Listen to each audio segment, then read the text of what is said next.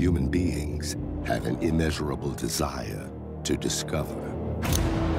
But with every new discovery, there are consequences. Sue Storm was adopted by Dr. Storm, and Johnny is her brother. She's very smart.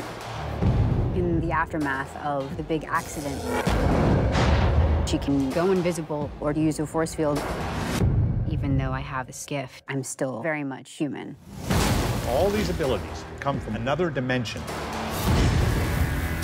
If you can work together, you can change the course of history.